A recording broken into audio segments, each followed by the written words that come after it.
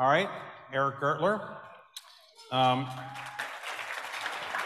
wow, okay.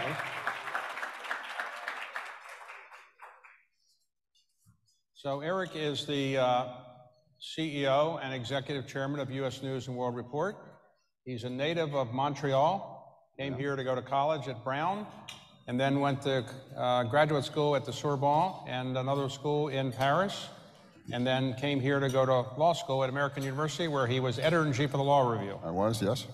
And then uh, has been involved in the city of New York, um, development efforts, worked for Mayor Bloomberg and Mayor de Blasio, later worked for Governor of New York and ran the Empire State Development Corporation for Governor Cuomo.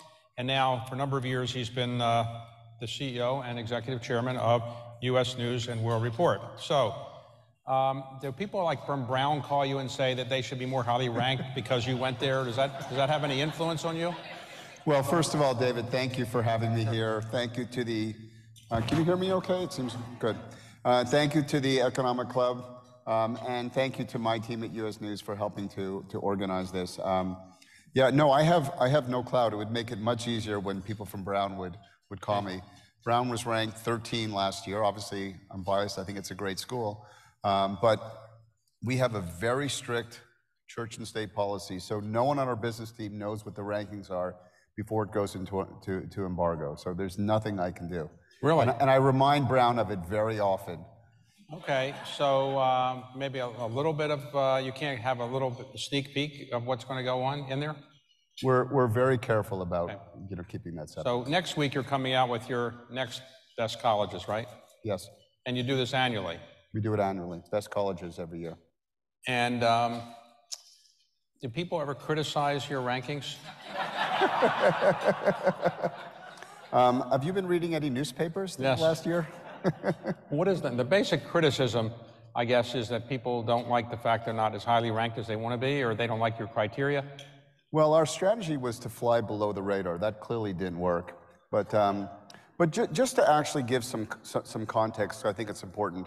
Um, and I'm happy to talk about the criticisms. But let me just explain first why we do the rankings, because I think that, that, that's important. And when it comes to the, to, to the college rankings, you, you know, we, we do the rankings because this is at a time when students are making the most important decision of, of, of their lives. Going to school, as you all know, is incredibly expensive. It is high anxiety in the household when you're going through the college process. Um, and as, as everyone knows, it has a huge impact even post, post-college. So what, what we do um, in our rankings is we enable students to be able to compare and contrast colleges using the same set of, set of data. Um, and that's been a process that we've used. We take the data that we use um, you know, obviously we're, we're looking, analyzing the data. We, we take this whole process uh, very rigorously, very seriously, because we know that students are making the biggest decision of their life. And then the last thing I'll just say before we get, get into that is that, um, you know, in the media in the last year, it's pitted US news versus law schools or institutions. And we're focused on the students. We're a mission driven company helping students or you know consumers in our other rankings, but we're we're about helping students make the right decision of where they where they go to school. So. Okay. So um, let me go back to the history of this. Yeah. And for people who may not be familiar with it, uh, for a long time there were uh, news magazines in the United States. Yes. People remember. there was one of them was uh, Time, and then there was uh, Newsweek. Newsweek. And then the third one was U.S. News and World Report. Yeah. Uh, U.S. News and World Report was headquartered in Washington, D.C. Yeah. And um, a man named Mort Zuckerman, I think in the mid 80s, bought it. And, um, and he owned it. And for a while, he was editor in chief as well as the publisher. And um, after the internet came along, it seemed as if people weren't buying news magazines in quite the way they were at the newsstands. So everybody either went digital or they stopped doing things. US News did a different thing, as I understand it. You still were doing news, but you basically started this idea of rankings. When did the idea of rankings start for US News? So, so you're absolutely right about sort of the News Weekly category when, you know, Time Newsweek, uh, US News. And at the time, uh, the, the audience of these magazines were based on sort of the pass along rate. US News had a pass along rate of about 12 million. Time had 40 million. And you, you know, in, in a world where advertisers look for the top two news magazines to, to buy, it made it very difficult for US News. So US News started to think about how do we differentiate ourselves from the other news magazines. And in the back of the book, US News explored how to do rankings, how to do more consumer journalism. It was called News You Can Use. Um, the rankings themselves for colleges started 40, 40 years ago.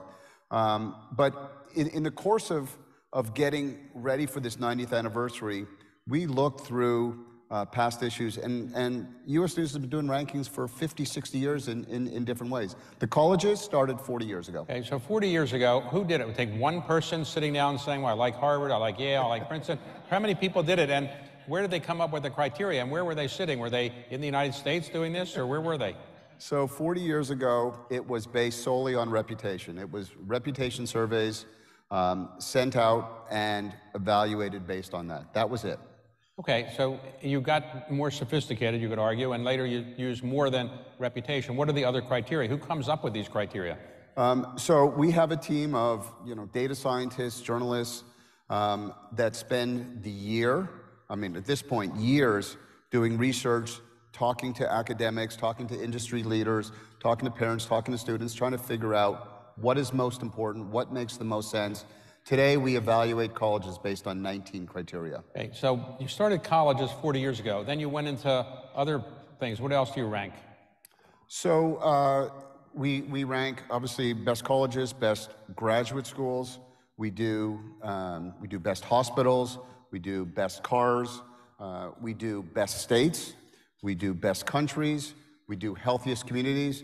In, in almost every area, you best economic clubs, you do that? No. So, you know, we, we're going to consider that. And we're also considering uh, best private equity firms. You should, absolutely. So, I think that would be a big seller. So, um, and in fact, in fact, I think this is a good opportunity in terms of doing the doing the research. We discovered that 50 years ago we did um, uh, a rankings on on who runs America, and I thought I would show you because we thought that this year we would launch a new rankings. Um, and, you know, we're basically relaunching what we used to do called Who Runs America, and I thought I would show it to you. Um, and so here's, here's the cover. Hope, hopefully you can see this. Who Runs America? and on, on, on this launch, the rising influence of David Rubenstein, West Wing being renamed the Rubenstein Wing after the latest gift. N- NBC, CBS, ABC all pick Rubenstein to moderate their presidential debates. Uh, Rubenstein raises a record $1 trillion for the new Carlyle Growth Equity Fund. Wow, now so, I, I, can't ask any of my hard questions now. Thank you. So now my hard questions, I have to get rid of my hard questions. Okay. So let me ask you on colleges. Um, other people seem to think that they can do it as well. Forbes, Wall Street Journal, um, why are you better than the other guys? So, um, so, so, so this is a tough answer because I have to go, you know, completely contrary to the to the uh, my origins and beginnings as a Canadian, and and and I can't be that humble. I mean, the the reality is, um, we are the leader, and and we're the leader because we've been doing it for 40 years. We're we're the leader because we have a rigorous process we, we take what we do very seriously. We have very strong separation of, of church and state. And, you know, in colleges, for example, we have 100 million users that go through our site. So what we say matters. And for that reason, you, you, know, we get, you know, a lot of these articles are coming from our competitors. But the, the, the reality is, um, what we do matters, and, and that makes the difference. So if you rate hospitals and you go into a hospital yourself, and it's not highly ranked, are they going to give you good treatment, or what are you, you ever worried? you ever worried about that? I, I, I, I pray, I pray, but but look, there, there's a perfect example. I mean, you're going into uh, for a surgery um, that may be life and death.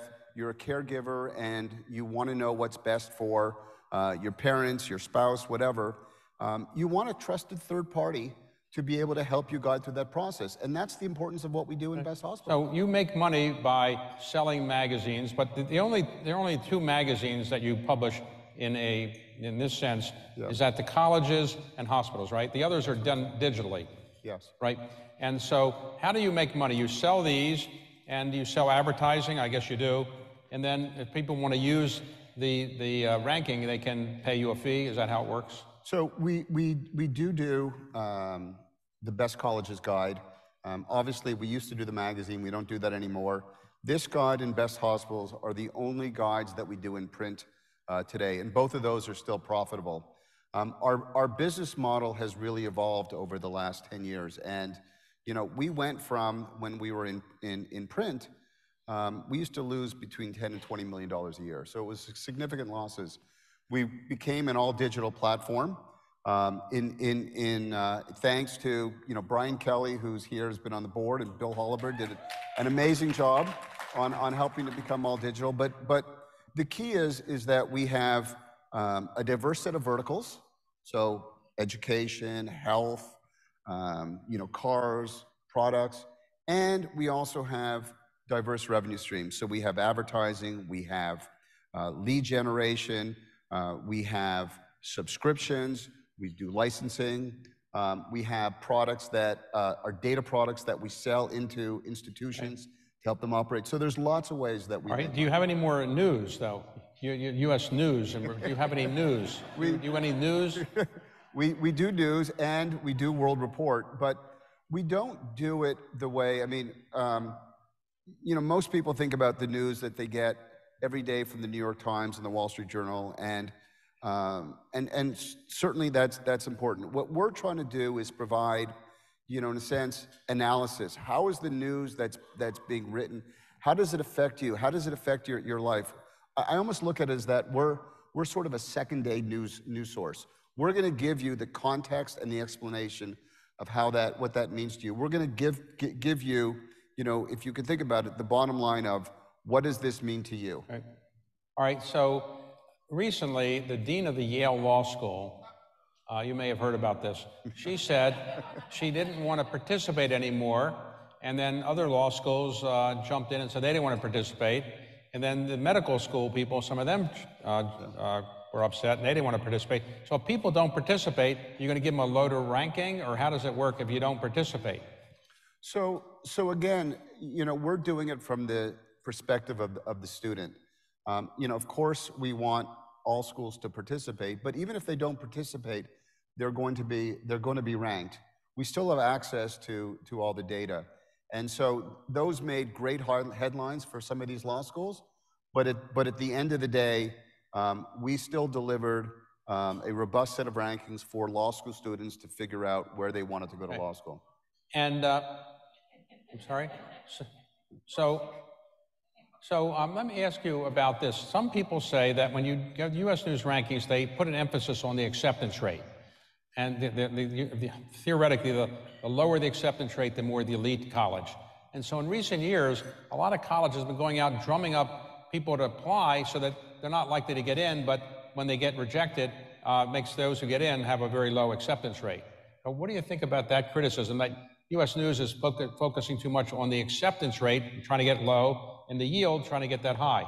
And people uh, game the system. Yeah. So, um, you know, I prefer to use the word that these schools are trying to improve their rankings, Okay? as opposed to the word that, that you used. And, uh, you know, But since, Have you ever heard of the people saying that they, they, they can game the system? you know, I may have read about it in some of these other um, Okay. uh, news outlets, but um, look, on, on, on colleges, you know, what, what we're doing is over the last 40 years, we've, we've evolved the rankings. And again, we started off as doing exclusively reputation surveys, and now we use 19 criteria. And what we're trying to focus on when our, when our team is spending time talking to all these, you know, the academics, industry experts, is what really matters to the student. And we come from, um, you know, a singular question. You know, is the college doing what it's supposed to do? Is it delivering that college degree? Is it delivering um, what the student is, is looking for? And so that is how we have now geared our, our rankings. So, for example, and we take criticism uh, about this, we put a lot of emphasis on graduation rates. Are you graduating that student, and not necessarily in four years, in six years? Uh, that has a high percentage in our rankings? I think that's a very fair question. Okay, but let me ask you, uh, a number of the law schools and medical schools have opted out, but I don't know if universities have opted out. Like Yale, has Yale opted out of the college? So why would the law school opt out or the medical school opt out, but not the college? If it's so bad, why wouldn't the college say we're, we're opting out? I, I ask myself the same question. I mean, Okay. Know, these, these institutions are not monolithic, and it's, you know, it's clear, um, and you and I in the past have talked about being a university president is a very difficult, you know, job these days, and, and we've seen that at some of the institutions, um, you know, if we take Harvard, the MBA school uh, participated in the rankings, the colleges participated in the rankings, the law school and the medical school did not. So let's suppose somebody works for you at U.S. News and World Report, and he or she is a very talented young person. They worked for a college. They worked uh, uh, while they were in high school as an intern. And then they say to you, Mr. Gertler, I'd like to go to college. Would you recommend me? Would you send a letter recommending me to Harvard or Yale? Um, would you recommend somebody? I mean, and if you're sending the letter in, you know, they're going to be afraid that they're going to upset you, so that person will get in. Do you, do you ever have those people asking for letters of recommendation? You know, I'm always happy to give someone, you know, and particularly, you know, a, a young student a letter of recommendation. I'm sorry to say, though, I don't have a good track record, though. So, Really? Okay. so clearly it's the opposite. All right, well, let me ask you an, another question. Um, people who are going to go to law school, Yale, Harvard, Chicago, Stanford, they're presumably reasonably intelligent people, and they have to make their decisions their entire life about is the facts this or the facts that. Why are the law schools so afraid that these applicants to law schools are going to be fooled by your U.S. News rankings? They're not going to be able to discern whether something is really that legitimate. Why are they so afraid of that? So, so that's one of the, you know, almost funny criticisms that we get. Um, and we get criticized that our rankings do not um, provide and um, articulate the particular nuances of, of each school. And by the way, they're, they're absolutely right. That's not what the rankings are designed to do. The rankings are designed to help you compare and contrast with the same set, the same set of data. But to your point, do you really think that a student that's considering going to Yale and Harvard, Chicago, can't get a sense of what is the best place for them? I mean, these are kids that have done so well, and they're talking to alumni, they're talking to, they're, they're going up and visiting the campus, they're talking to students. Um, they absolutely have a good sense of where they. Okay, now you have a church and state separation, so you can't be involved in the rankings and know about it. But somebody's on the other side of the wall. Can that person, um, you know, do anything that might not be appropriate? Can that person write letters of recommendation to people? Or, I mean, who are these people that are making these rankings? where are they living? Where, where, where are they? They live in Washington? Anybody here on the working on these rankings? Where are they? I never met anybody who said they're working on the rankings. So, um, so for example, I don't know if Stephanie's here and Bob Morse. There's Stephanie. Uh, you know, Bob Morse, who's been working on the rankings for for 40 years. I mean, we have a you know we have a team of 40 to 50 people dedicated just on on the rankings. I mean, at this point, everybody in the company touches rankings in, in some way, but All right, so like somebody, let's suppose, I, you've changed the rankings, uh, some of the criteria for this coming one that's coming out next week. So um, I did talk to the University of Chicago and asked them where they thought about the changes, and, and they gave me some comments and so forth. But um, uh, who decides what the criteria are, how they're going to change? And, and you have to change the rankings every year so that people buy new magazines? In other words, if it, every year it's the same, Harvard, Yale, Princeton, every year, why would anybody buy a new magazine? That's the same every year. So don't you have to change them around a little bit? Well, you know, as, as I said, the, the rankings the rankings have evolved, um, and and we change the criteria every year. But we change the criteria to reflect what is most important to the, to the students. I mean, when you look at the rankings, I mean, Princeton has been number one for for a number of years. What happens on Monday? I have to wait wait for you to see. But um, but a lot of the top colleges remain at the top because they do a great job. Okay, but suppose the, the man who's in charge of this or the woman who's in charge of this, are they here? Well, Stephanie's here. Bob Morse, I don't. so think what, where, I suppose they went to Princeton. Do they, every year Princeton number one, is, is that a, how do you keep those people from, don't they have to recuse themselves if uh, they're number one and, and, and they went to that school? How do they, how do you deal with that? we, we, we checked. She didn't go to Princeton. I think. Really? That safe. doesn't happen? That doesn't, prob- that's not a problem? Okay. So uh, today, um, uh, you are the leader in these rankings. Um, and you do it in the United States principally, I guess, right? Yes. But your U.S. News and World Report, why don't you do it outside the United States? Why don't you rank colleges in Europe or other places? Um, it's, it's a great idea. We did do, many years ago, we did rank colleges in the, in the Middle East. We've explored doing it in other places. Um, we've had conversations. Um, I will tell you that there's a lot of students overseas that use our rankings. So in India, we get 3 million users that are using our rankings to look at colleges in, in uh, So, do United people ever come up to you at cocktail parties and say, I'm applying to colleges, what do you think I should do? And you say, well, read US News, or do you just give them, I mean, do you ever have recommendations yourself? Um, I, I do get that, that quite often. What, what do you say? Um, and, and I say, y- you know, you should look at, you go, th- go through the rankings. But I, I will also tell you that we should not be the only source of information. At a, you know, at, a- at a time when at some of these top schools, you're paying almost $100,000 with tuition, expenses.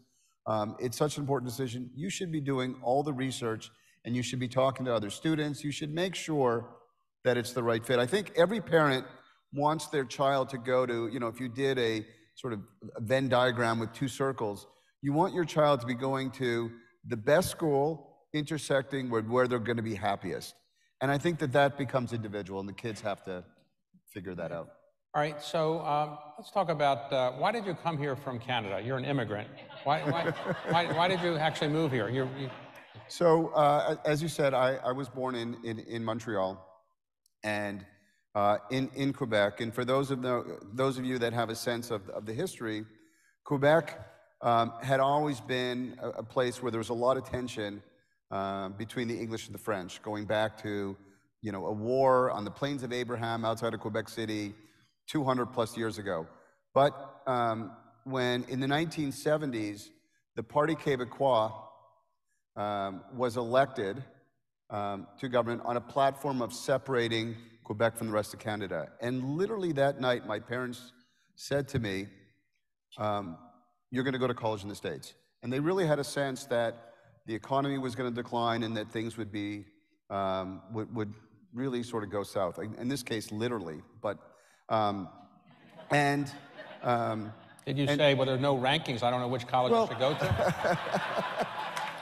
Well, that's exactly the case. I didn't, I didn't know when it came to going to school, and I did very well in school. My mother wrote away for college applications, and the college applications came, and um, uh, I applied to Harvard and Yale, and my mother came to me and she said, um, "How are you doing on the college process?" I said, "I'm done," and she goes, "What have you done?" I said, "I applied to Harvard and Yale." She goes, "Don't you think you should apply to a few more schools?" And I didn't know any other schools, so I picked up the next application, which happened to be Brown, and I filled it out.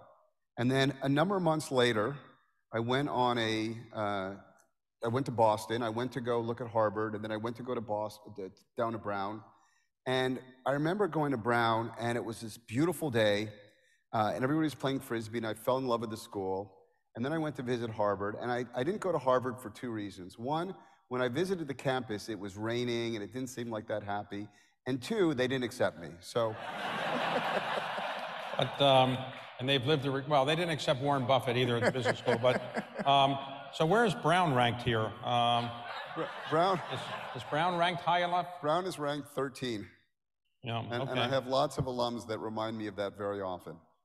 So today, what is the future of U.S. News and World Report? Are you going to take the company public? You're ever going to sell it? You're, um, you're going to do more rankings? What, what is the future? So, um, you know, I, I- I think there's, there's sort of several things to that question. I mean, first of all, for the last um, 10 years, uh, so I came back in 2015. I've been chairman, uh, CEO, running the company, and uh, we've been focused on being a very mission-driven company. First and foremost, focusing on the consumer and helping the consumer make important life decisions. And we use that to guide us in, in all of our in all of our verticals. So we've had lots of vertical expansion, um, and um, so different areas. We have a product area. We do best cars. It, it turns out that our brand, uh, the trust that we've developed, has allowed us to go into in, into other uh, into other areas. But we've also gone deeper. We've also looked at how do we ensure that we have um, a very engaged experience for, for our users. So we're more than just the rankings. That gets all the headlines, but we provide lots of journalism around it. Uh, we provide lots of stories. I mean, everybody looks at the best colleges and said, who's number one? But we focus on what are the best public schools, what are the best, you know, best schools for, for, you know, for the money. We provide tools to help you figure it out. In the last six months, we've done four acquisitions. For example, we bought a company called College Advisor to help that whole process of helping our students be more engaged. So this is a personalized service where you can get advice on what is the best college. So that's what we've done. I think that's the future of US News and thinking about how do we provide a much more engaged experience. Now, to your question, we get approached all the time about companies that want to uh, want to acquire, uh, want to buy us. Um, to date, it's not been the right time. We're always open for conversations. Uh, my mother has always said, never say never. Um, but you know, right now we've developed a healthy balance sheet, and we're continuing to focus on how do we grow the business. Okay, so you're not for sale today, but you never say never. Never say never. Okay, so uh, today um, you're coming out with a new book next week, the college one. How many would you sell typically of the, of the, the, the print copy? We sell 50,000, 100,000. How many do you actually sell? So on, on, on the book, I mean, what, what we really focus on, I mean, the book itself is, you know, is profitable. It also provides us great branding. Um, you know, because they're in, you know, they're in bookstores, they're in train stations, you know, airports. But where we really want to push people is into the depth of everything that we provide online. And, and online, in our education, as I said, we get 100 million users annually through, through our site. And, and that's where we're, you, know, we're exposing our readers to, to advertising. We've got products, uh, you know, available for them. Um, that's where we're really making the money. Okay, so uh, you've been in government. You ever thinking of going back to government? I loved my government experience, and I, I felt privileged to be able to uh, serve both New York City and, and, New York State. If it's the right time, right opportunity, I would, uh, you know, absolutely be open to. So, who worked harder, Mike Bloomberg or Bill De Blasio? um, Mike Bloomberg. Harder worker. Okay. So uh, today, um, if somebody wants to work at U.S. News and World Report and get a job there, um, what's the best way to do that? Do you hiring people, or you already have enough employees? So we've, we've done a lot of hiring. We've doubled the staff um, over the last five years.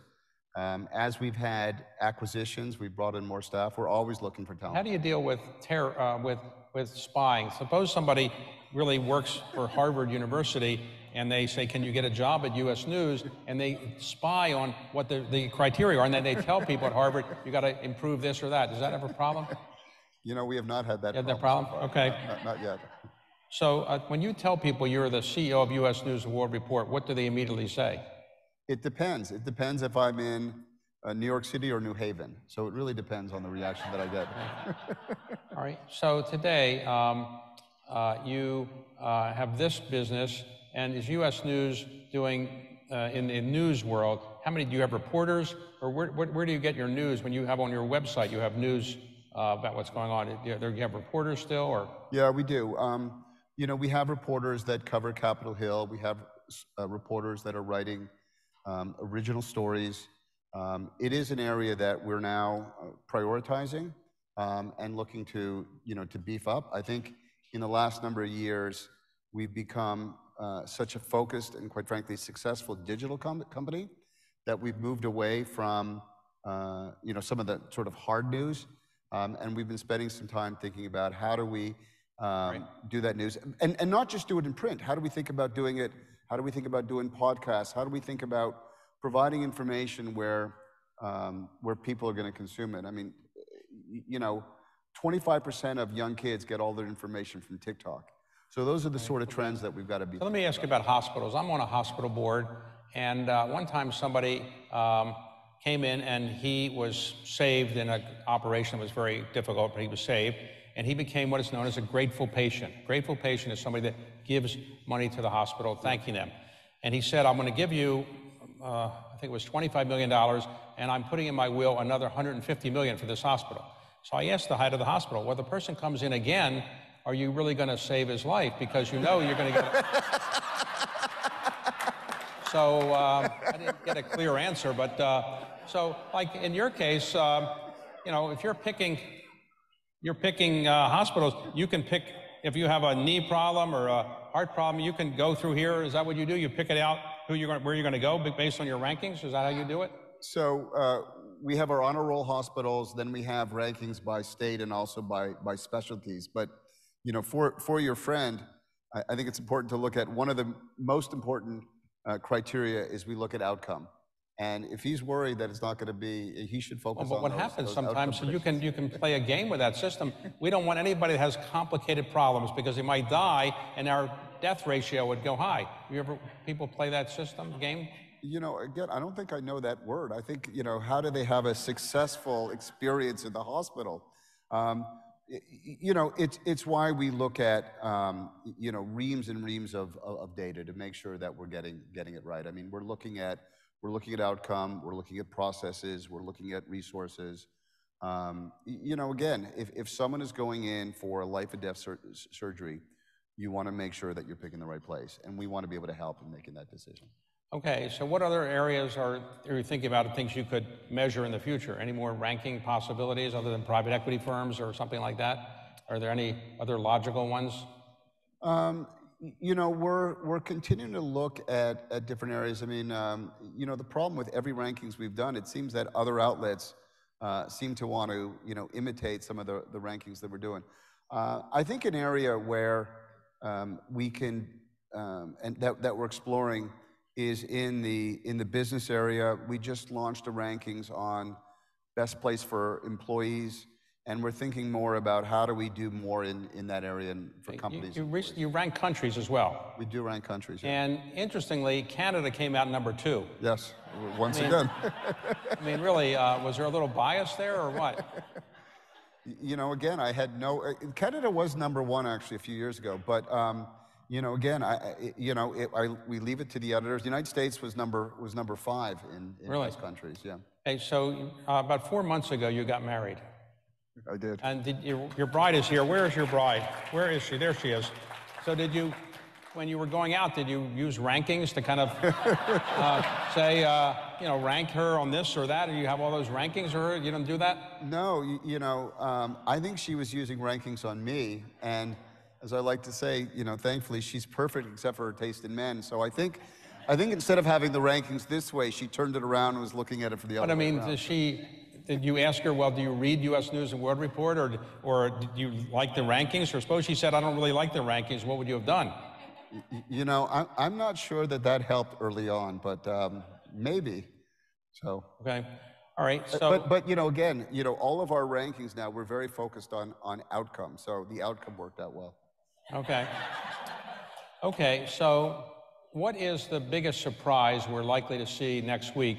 I know you don't know, but what would you guess is the biggest surprise we're going to see when we, when we, is it uh, so something new way of ranking people or ranking universities or what?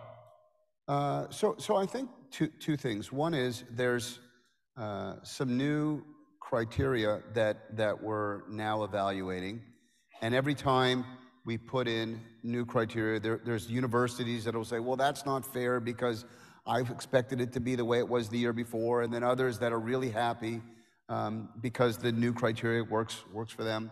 But, um, but if you think about it this way, that, um, you know, again, we're asking the question, are colleges doing what they say they're going to do? And so some of the questions that are important, are you graduating kids from different various backgrounds? Are you graduating kids with manageable debt? And then are kids having a postgraduate successful outcome, meaning finding jobs? So with that, we put more emphasis on Pell Grants and Pell Grant students, and also first generation students um, who, um, you know, you often think that, oh, first generation students know about all these universities, but they don't. And I think it's very important that okay. we have that information. All right, so normally we don't do this, but uh, who has a question about their college ranking? Anybody have a question here? what? Yeah, Duke. Um, Duke is, uh, is, is ranked in the top 10. Um, it's should be higher, a little bit higher, but uh, but I'm waiting for the next one. So, anybody have a question about your college ranking? Anybody have any question for our guest? Howard University. Um, how's Howard? Howard, I think, is actually number two or three, and it's in HB, uh, if I got it right, historically black Historically black universities. colleges? I think it was number two or three. I think Spelman was number one, and Howard maybe number two, something like that. Yeah, I don't have all the rankings memorized, You but don't? Okay. we only do 1,800. How many people here have ever used this for their children or anything else? Anybody? How many are happy with the results? Okay, good. Okay. How many people really are not happy with the results? Okay. Okay. But you know, it's it's interesting. We did it. We did a survey among college students, uh, and what we found was we had. Um, I mean, it was really great results. Somewhat self-serving, but um, 100% brand recognition. 70% of college students used our rankings to determine where to go to college. So, pretty. and what about this? There's a new thing come along, come artificial intelligence. Yeah. So um, why wouldn't somebody just use artificial intelligence, chat GBT, and just go on and say, what are the best colleges? And you can get an artificial intelligence to tell you what you have in here. Why do you, why do you need this if Yeah. artificial intelligence can do the same thing? So, so at, at, at some point, um, and I think we're still in, you know, I think we're still in early innings. Our artificial intelligence will absolutely facilitate, you, you know, that. But the, the, the problem right now is you want a you want a trusted source, you want objective data. There's still a lot of biases involved in our, you know, artificial intelligence. I mean, one critique is that it's it's more um, based on on male outlets than outlooks than female outlooks. Um, and so you want to make sure right now that you have it done in a way that's best for the for the student. At some point, we'll figure out how to use how to use AI.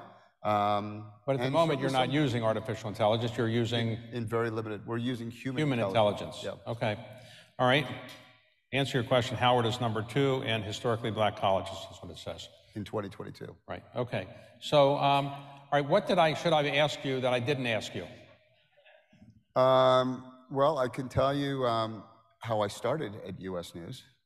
Well, how did you start? So You were hired by somebody I knew. yes, so um, but you don't. So in my senior year of college, I was, um, you know, so I graduated in the 80s, and at that point, everybody was looking to go to Wall Street, and I was like every, I was interviewing at, you know, at, at the various banks, and second semester, you know, you're going through senior year, you're going through all the interviews, and uh, Mort Zuckerman, who had bought uh, U.S. News a year or two earlier, uh, who's also my uncle, called me up and said, "What are you doing after college?" And I said, "Look, I'm flying to go to investment banks." And he said, "That's not such a good idea. You should come work at U.S. News." And I said, "Well, I don't think that's a good idea." and we went back and forth, and he finally said, "If you could do anything you wanted to do, what would you do?" And I had spent my junior year in France, so I said, How about making me a foreign correspondent in Paris? And he said, That's a great idea. You should call, I'm going to put you in touch with Kathy Bushkin, Kathy Bushkin Calvin, who's, who's here tonight, and she'll take care of it. And so I called, um, I called Kathy and I said, Kathy, Mort said, you know, talk to you about being a foreign correspondent in Paris. And she says to me, she says, Well, that's not going to happen. She goes, but, it, but if you want, you can, come, you can come and be an editorial assistant in Washington, and we pay $12,700 a year. So this was a very far cry away from you know, being, in, being in Wall Street. But it turned out to be the best experience of my life. I got to understand how media worked. I got to understand how Washington worked. I got to um, understand uh, and work with some of the best journalists at the time. Four months into my stay, uh, David Gergen had left from uh, the Reagan administration. He became managing editor, later editor. I got to be his research assistant. I got to do all the research on the editorials. I got to prepare him for the McLaughlin Group. I got to learn so much from him. And so it was just an amazing experience. I stayed one year and then I went to Paris, not as a correspondent for, uh, for US News, but to go and study. Um, but, you know, it was one of these unbelievable experiences that in, a, in an era when, you know, all graduates are now, you know, most graduates want to go home and work remote. I think they're missing so much in terms of the experience and learning from other people. And I, and I really hope that we get people back into the offices. Da- So David Gergen is uh, right there, uh, one of the editors. Um, How many employees do you have now? Uh, we have about 460 employees. And how many of them are in the office? Not About one enough. or two? Not enough.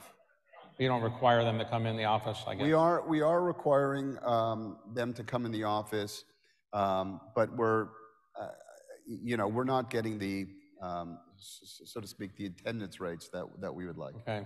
And the person who's in charge of the rankings, is that person here? is- Well, in, uh, in, the, in charge of her data, Data? Stephanie's right there. Okay. yeah. And where did she go to college?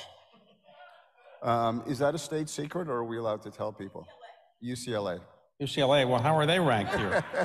They seem to be ranked pretty highly here, actually. I, I think it's, uh, okay, she has to be very careful not to rank UCLA so high, but I noticed it was ranked pretty highly, actually.